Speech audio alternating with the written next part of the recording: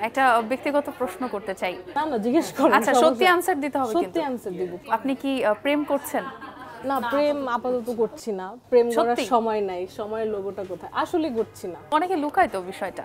না না আমার আমি তো লুকাবোই না। যেদিন আমার বয়ফ্রেন্ড হবে বিশ্বাস আমি তোমাদেরকে ডেকে আমি ইন্টারভিউ দিব যে finally I have a boyfriend please meet him আমার তো খুব ইচ্ছা যে আমার একটা বয়ফ্রেন্ড হবে। এখন তো কাপল ব্লগস অনেক চলে।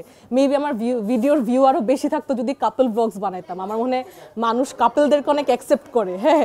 তো আমি আমার একটা বয়ফ্রেন্ড বানানোর ইচ্ছা যে সে তার সাথে যেন আমি ব্লগ করতে পারি। আচ্ছা, প্রেম করছেন না বিয়ে করবেন কবে? প্ল্যানিং আছে বিয়ের? না, সবার তো দেখতেছে বিয়ে আশেপাশে ভেঙে যায়। তো আমার আর আসলে এরকম ইচ্ছা নাই যে মানে থাকে না যে তাড়াহুড়া না করে মানে থাকেন আমার আমার মনে হয় যে ওই যে মানুষ তাড়াহুড়া করে করে, ঠিক আছে কম্প্যাটেবিলিটি ইস্যুস পরে গিয়ে বের হয়।